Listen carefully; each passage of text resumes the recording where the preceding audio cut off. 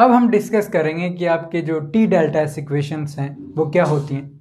आप किस तरीके से टी डेल्टा एस इक्वेशंस को डिराइव कर सकते हो? और टी डेल्टा एस इक्वेशन का जो यूज़ है, हमें क्यों टी डेल्टा एस इक्वेशंस का ज़रूरत पड़ता है, वो हम यहाँ पर डिस्कस करेंगे। तो सबसे पहले जो टी डेल्टा एस इक्वेशंस हैं, उनको डिराइव करेंगे हम यहाँ पर।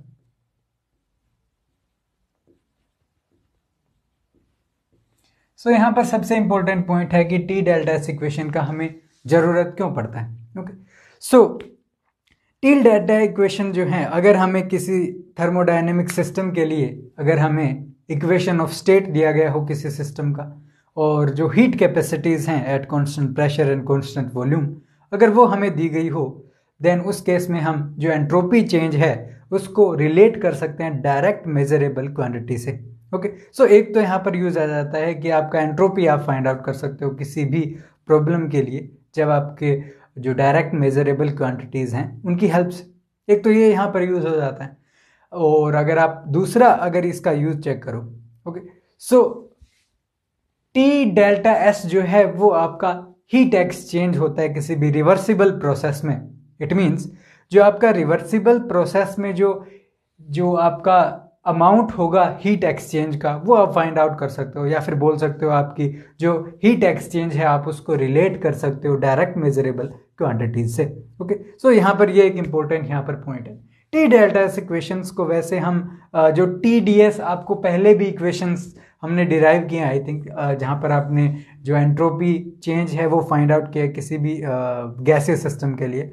ओके सो वहाँ पर भी हमने टी डी एस इक्वेशंस निकाली थी बट वहाँ की जो इक्वेशंस हैं और यहाँ की इक्वेशन में हल्का सा थोड़ा फ़र्क हो सकता है ओके बट वहाँ पर भी हम पहले भी डिराइव कर चुके हैं, आपकी टी डेल्टा इक्वेशंस हैं उनको ओके बट वहाँ पर हमने उनको स्पेसिफाई नहीं किया था ओके सो अब यहाँ पर देखिए, अब हमें पता है कि आपका जो एंट्रोपी है एस और वेरिएबल अगर हम चेक करें तो हमारे पास आए थे entropy volume temperature and pressure okay अब हमें एंट्रोपी तो निकालना है बिकॉज़ चार इंडिपेंडेंट वेरिएबल निकल के आए थे किसी भी थर्मोडाइनमिक सिस्टम में और चेक किया कि आपका जो you can say internal energy है वो एक इंडिपेंडेंट वेरिएबल नहीं है। ओके okay, ये चार इंडिपेंडेंट वेरिएबल हैं। तो यहाँ से तीन वेरिएबल्स आए हमारे पास। या तो वी हो सकता है टी हो सकता है या फिर पी हो सकता है। Okay okay? और हमें पता है कि एंट्रोपी को आप कुछ इस तरीके से रिप्रेजेंट कर सकते हो। कोई भी दो वेरिएबल इन तीनों में से आप निकाल के आप जो एंट्रोपी है वो फाइंड आउट कर सकते हो ओके सो यहाँ पर टेम्परेचर से मल्टीप्लाई करके ये आपका टीडीएस निकल जाएगा ऐसे करके कुछ ओके okay? ये तो चलो अलग बात है बट यहाँ पर एक इंपॉर्टेंट पॉइंट है कि वी टी और पी में अगर टू टू के कॉम्बिनेशन अगर मैं बनाऊँ तो यहाँ से आप कुछ इस तरीके से कह सकते हो three C two is equal to यहाँ पर देखिए three factorial divided by one factorial और यहाँ पर आपका टू फैक्टोरियल तो यहाँ से आपका डायरेक्ट आ जाता है three into two divided by two so ये आपके थ्री रिलेशन आ जाते हैं यहाँ से। उसी तरीके से अगर आप इस तरीके से चेक चेक करना चाहते हो कि यहाँ से अगर आप चेक करो तो पी वी एक रिलेशन पी यहाँ पे ये रिलेशन और एक ये रिलेशन बन सकता है। तो तीन रिलेशन हमारे पास बन सकते हैं इन तीनों वेरिएबल से। ओके सो so, ये हमारे पास एक इंपॉर्टेंट पॉइंट है। सो so, यहाँ से हमें तीन इक्वेशंस मिलेंगे तो इट मीन्स हमारे पास थ्री टी डी एस या टी डेल्टा इक्वेशंस होंगी। Okay so one by one हम डिराइव करेंगे जो इक्वेशंस हैं उनको। ओके सो सबसे पहले स्टार्ट करते हैं आपके अज्यूम करते हैं कि first T D S equation. Assume करते हैं कि आपका जो एंट्रोपी है, वो एक फ़ंक्शन है आपका टेम्परेचर और वॉल्यूम का। ओके सो यहाँ से हम क्या कह सकते हैं कि आपका एग्जैक्ट डिफरेंशियल जो है बिकॉज़ एंट्रोपी एक एग्जैक्ट क्वांटिटी है so delta S divided by delta T at constant volume into D T plus आपका delta S divided by delta V at constant temperature into D V ये आपका exact differential आ जाता है। यहाँ से आप क्या कह सकते हो कि हमें पता है कि आपका जो सी वी है वो कुछ इस तरीके से आप लिखते हो कि delta S divided by delta T okay और यहाँ से आप टी से मल्टीप्लाई कर दें ओके सो ये आपका टी डेल्टा एस जो है वो आ, कुछ इस तरीके से होता था आपका। वी यहाँ पर कॉन्स्टेंट है। ओके सो टेम्परेचर का मल्टीप्लाई करते हैं तो ऊपर वाली क्वांटिटी आपकी डेल्टा क्यू बन जाती है। Delta Q divided by delta T और यहाँ पर वॉल्यूम कांस्टेंट सो ये आपका सी वी होता है। बट यहाँ पर टेम्परेचर नहीं है तो हम कह सकते हैं कि D S will be equal to C V divided by T into D T plus plus आपका यहाँ से देखिए, यहाँ पर आया हमारा delta S divided by delta V और यहाँ पर टेम्परेचर कांस्टेंट है और यहाँ पर। अगर हम इस इक्वेशन को चेक करें तो ये एक डायरेक्ट मेजरेबल क्वांटिटी नहीं है बिकॉज़ एंट्रोपी हमें यहाँ पर चाहिए। ये डायरेक्ट मेजरेबल क्वांटिटी नहीं है तो हमें क्या करना पड़ेगा इसको? डायरेक्ट मेजरेबल क्वांटिटी में चेंज करना पड़ेगा। सो so, आपका जो delta S divided by delta V at constant temperature है वो किसके इक्वल होगा? यहाँ से देखिए S V T it means variable रह कौन सा गया आपका? P it means delta P divided by delta यहाँ पर टी आएगा आपकी बार। और वॉल्यूम यहाँ है तो आपकी बार वॉल्यूम यहाँ आएगा। ओके? ये याद रखने का तरीका है। अब नेगेटिव साइन किस तरीके से याद रख देते हैं हम? कि टी और वी जो है एक साथ आते हैं तब आपका नेगेटिव होगा। बट यहाँ पर एक साथ नहीं आ रहे दोनों अलग अलग आ रहे हैं तो इट मीन्स ये आपका रिलेशन है। सो so, यहाँ से अगर आप कंपेयर करो तो यहाँ से आप वैल्यू पुट कर सकते हो। किस तरीके से? कि D S will be equal to C V divided by T अब इसको मल्टीप्लाई भी कर देते हैं दोनों साइड किससे? टी से because T delta S equation चाहिए ना हमें। सो so, ये आपका T D S is equal to C V D T plus यहाँ पर आपका क्या जाता है? देखिए delta P divided by delta T at constant volume और यहाँ पर आपका टी और डी वी ओके अब इस इक्वेशन को अगर हम एक सिग्निफिकेंट फॉर्म में चेंज करना चाहते हैं जिसका कुछ फ़िज़िकल मीनिंग हो तो इसको हम कुछ इस तरीके से कर सकते हैं कि सपोज़ आपका जो प्रेशर जो है, वो आपका एक कुछ इस तरीके से है कि P is equal to P of temperature volume पे डिपेंड करता है। ये हम पहले भी कर चुके हैं वैसे। ओके सो टेम्परेचर आपका T और V का सपोज़ एक फ़ंक्शन है। यहाँ से आप क्या कह सकते हो? कि एग्जैक्ट डिफरेंशियल है डेल्टा पी वो किसके इक्वल हो जाएगा? Delta P divided by delta T at constant volume plus यहाँ पर आपका डी टी भी आता है। D T plus delta P divided by delta T sorry delta V delta V at constant temperature और यहाँ पर आपका क्या जाता है? डी वी ओके सो हम अज्यूम करते हैं कि आपका D P is equal to zero है। इट मीन्स आपका पी जो है वो एक कॉन्स्टेंट क्वांटिटी है ओके देन हम क्या कह सकते हैं कि आपका ये जो रिलेशन है कुछ इस तरीके से आ जाएगा कि delta P divided by delta V यहाँ पर आपका वॉल्यूम कांस्टेंट है into D T plus delta P divided by delta V at constant temperature into D V is equal to zero आ जाता है ओके सो यहाँ से अगर हम चेक करें तो हम कुछ इस तरीके से कह सकते हैं कि जो delta P divided by delta T है ओके यहाँ पर आपका delta P divided by delta T आना चाहिए ना? हाँ। तो आपका delta P divided by delta T जो है एट कॉन्स्टेंट वॉल्यूम जो कि हमारी ये क्वांटिटी है ये किसके इक्वल हो सकती है? इज़ इक्वल टू यहाँ से इसको चेक करो। सो so, ये आपका नेगेटिव साइन यहाँ पर आएगा तो delta P divided by delta V और यहाँ पर कॉन्स्टेंट टेम्परेचर है। और v को डिवाइड करोगे t से इट मीन्स ये आपका delta v divided by delta T है और हम अज्यूम करके चल रहे हैं कि आपका प्रेशर जो है स्टार्टिंग से कॉन्स्टेंट है। Okay okay? सो so, ये जो हमने यहाँ पर जो भी डिस्कस किया ये जो पार्ट है ये सिर्फ़ रिलेशन फाइंड आउट करने के लिए था कि delta P divided by delta T जो है एट कॉन्स्टेंट वॉल्यूम उसका यू कैन से एक फ़िज़िकल मीनिंग हो ऐसी क्वांटिटी से। तो वो रिलेशन कैसे फाइंड आउट करें? ओके सो अब यहाँ से इसका वैल्यू पुट करते हैं तो हमें मिलता है कि T delta S will be equal to okay अगर देखो आप तो ये जो इक्वेशन है, यही आपकी टी डेल्टा एस इक्वेशन होती है ओके ये है, ये आपका क्या है? First T delta S equation okay ये वैसे first T delta S equation है बट अब हम इस first T delta S equation को क्या कर रहे हैं? एक फ़िज़िकल मीनिंग अगर एक ऐसी क्वांटिटी का हो उस टर्म में हम इसको चेंज कर रहे हैं। So D T delta S will be equal to यहाँ पर सी वी डी टी आ जाता है।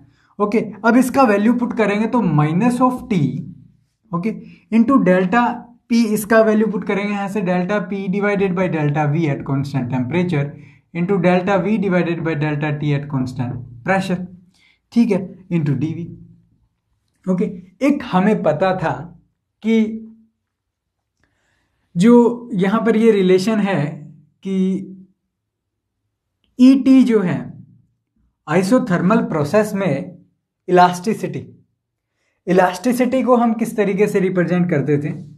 कि आपका उसके अंदर फोर्स पर यूनिट एरिया कितना है, या फिर बोल सकते हो प्रेशर कितना है ओके और वहाँ पर जो एरर है कितना आ रहा है तो delta V divided by V ये रिलेशन ओके अब यहाँ पे एक इंपॉर्टेंट पॉइंट है कि प्रेशर और वॉल्यूम का जो वेरिएशन है वो कुछ इस तरीके से होता है कि ये क्वांटिटी आपकी नेगेटिव निकल के आती है।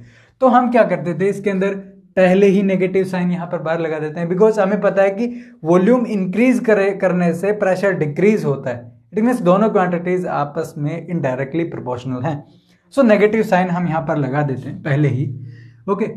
और टेम्परेचर यहाँ पर कॉन्स्टेंट रखते हैं। तो ये जो क्वांटिटी है, ये आपकी आइसोथर्मल इलास्टिसिटी होती है ओके सो so, इसको हम किस तरीके से रिप्रेजेंट कर सकते हैं? यहाँ पर अगर चेक करें तो इसको negative V delta P divided by delta V at constant temperature so ये हमारे पास एक रिलेशन है। दूसरा रिलेशन अगर चेक करें कि अल्फ़ा जो है ये तो आपका क्या आया? इसको अगर लिखना चाहूँ ये आपका है आइसोथर्मल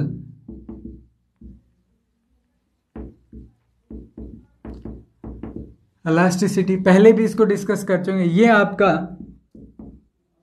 वॉल्यूम एक्सपेंसिविटी है। एट पी कांस्टेंट या फिर बोल सकते हो आइसोबैरिक प्रोसेस में।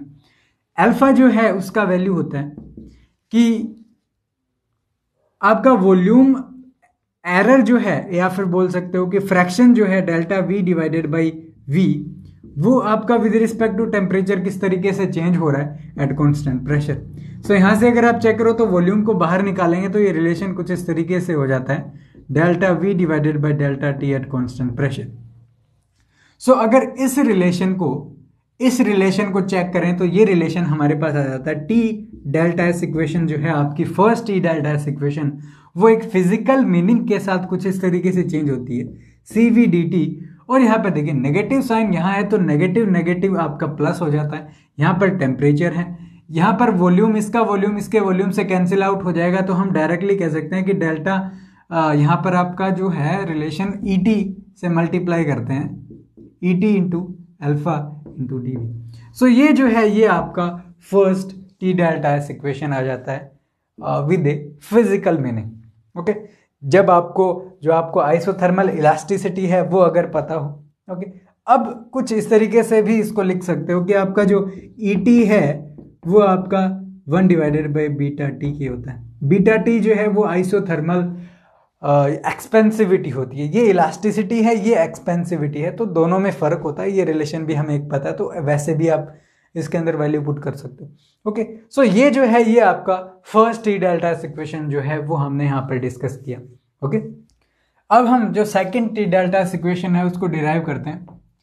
Second T D S equation okay हम एंट्रोपी को पिछली बार किस टर्म में लेके चले थे? टेम्परेचर वॉल्यूम की टर्म में लेके चले थे। अब की बार हम टेम्परेचर और प्रेशर की टर्म में लेके चलते हैं। ओके सो हम कह सकते हैं कि एग्जैक्ट डिफरेंशियल कुछ इस तरीके से होगा कि delta S divided by delta T at constant pressure into D T plus delta S divided by delta P at constant T into D P okay हमें पता है कि delta S divided by delta T okay अगर आप इसको temperature से multiply कर देते हो कॉन्स्टेंट प्रेशर पे, ये आपका हो जाता है T delta S is equal to delta Q और divided by delta T at constant pressure ये आपका हो जाता है C P so D S is will be equal to या फिर बोल सकते हो कि T delta S equal equal to temperature से मल्टीप्लाई करोगे तो ये इक्वेशन कुछ इस तरीके से आ जाता है कि C P D T plus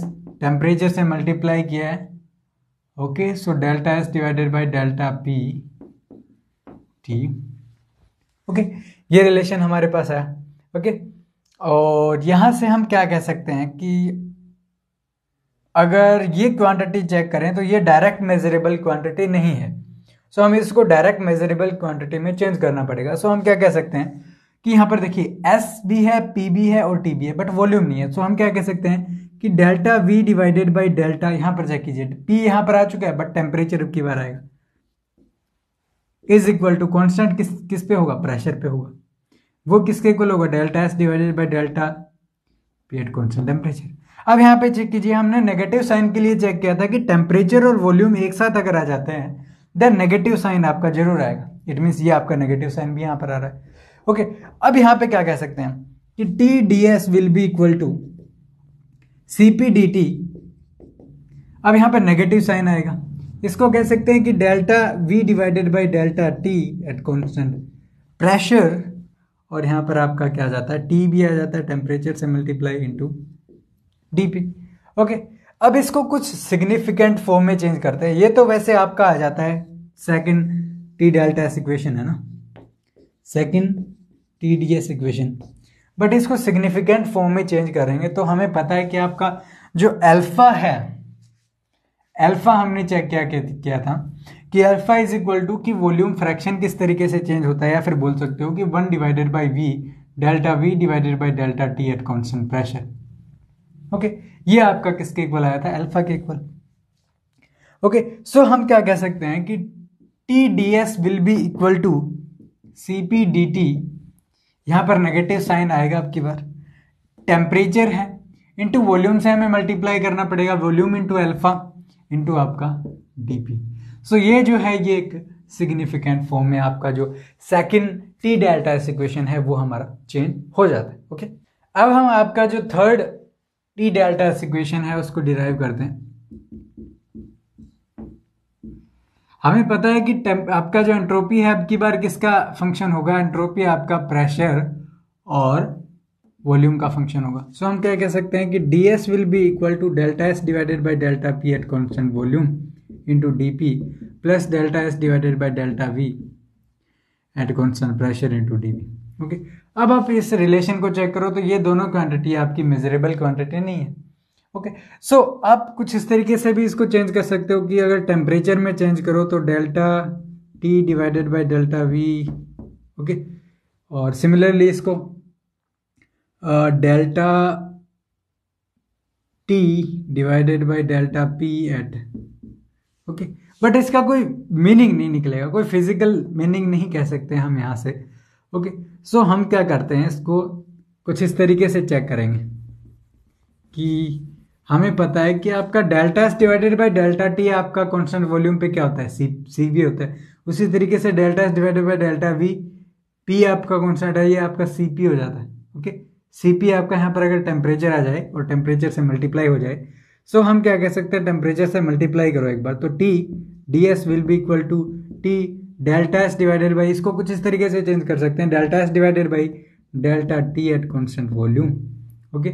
और delta T divided by delta P at constant volume, okay? So ये मेजरेबल क्वांटिटी है।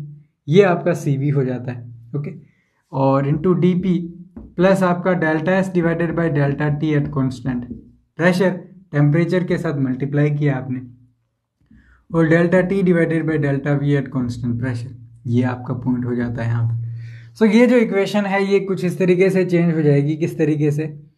कि T D S will be equal to यहाँ पर ये आपका सी सी वी हो जाता है और delta T divided by delta P at constant volume into D P plus similarly ये आपका सी पी हो जाता है C P delta T divided by delta V और पी और यहाँ पर आपका ये डी वी सो ये जो है, ये एक ऐसी टर्म्स में आ जाता है जो फिजिकली मेजरेबल क्वांटिटी है सी पी सी और ये जो रिलेशन है ये आप चेक कर ही सकते हो किसके हेल्प से जब आपको जो रिलेशन है इक्वेशन ऑफ़ स्टेट वो अगर पता हो ओके okay, सो so ये जो आपकी तीनों टी डेल्टा एस इक्वेशन है वो आपकी कंप्लीट हो जाती हैं तीनों इक्वेशंस को हमने यहाँ पर डिराइव किया ओके okay? अब ये जो टी डेल्टा एस इक्वेशंस हैं तीनों इनके हेल्प से अगर आप चेक करो तो आप एंट्रोपी चेंज भी फाइंड आउट कर सकते हो तो D S will be equal to किसी भी रिलेशन से चेक कर सकते हो।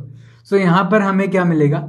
C V divided by T और delta T divided by delta P okay third relation को अगर हम चेक करें तो डी पी ये आपको इंटीग्रल करना है यहाँ पर ओके सी वी कॉन्स्टेंट है टी और यहाँ पे delta T divided delta P find out कर लो। जब आपका इक्वेशन ऑफ़ स्टेट अगर दिया गया फॉर एग्जांपल आगे आइडियल गैस है तो P V is equal to N R T real gas है तो आपका P minus A divided by V square और V minus B is equal to R T कुछ इस तरीके से कर सकते हो ओके सो जो आपको इक्वेशन ऑफ़ स्टेट है उसी से वैल्यू पुट करनी है। और जो भी रिलेशन आएगा वो आप क्या है? यहाँ पर आपका C P divided by T और delta T divided by delta V okay? So कुछ नहीं है आपको सिर्फ़ इंटीग्रल करना है, दोनों साइड आप वैल्यूज़ फाइंड आउट कर सकते हो। तो किसी भी प्रॉब्लम के लिए पहला बात तो आता है कि आप एंट्रोपी चेंज फाइंड आउट कर सकते हो। दूसरा आता है कि टी डेल्टा ऐसा है, वो आपका डेल्टा क्यू होता है। So delta Q find out कर सकते हो कि कितना हीट एक्सचेंज हुआ अगर आपको क्या करना है, सिर्फ़ दोनों साइड क्या करना है इंटीग्रल करना है। ओके? इस इस रिलेशन का। देन आपको क्या मिल जाएगा? डेल्टा क्यू मिल जाएगा, यहाँ से डेल्टा एस मिल जाएगा। तो डायरेक्ट मेजरेबल क्वांटिटीज़ की हेल्प से आप जो एंट्रोपी चेंज है और हीट एक्सचेंज दोनों क्वांटिटी आप फाइंड आउट कर सकते ओके